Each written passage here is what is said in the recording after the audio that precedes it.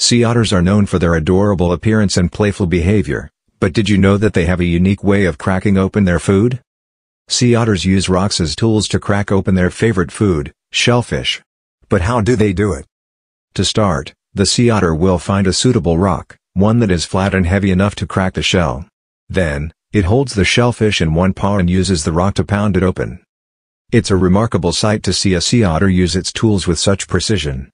And not only that, Sea otters are the only mammals that use tools to gather food. This skill is passed down from generation to generation, and it's what has allowed sea otters to thrive in their coastal habitats. But the use of tools is just one of many unique adaptations that sea otters have evolved to survive in their environment. So next time you see a sea otter cracking open a shellfish, remember the remarkable intelligence and resourcefulness of these adorable creatures. Thank you for watching. Don't forget to like, comment, and subscribe for more amazing animal videos.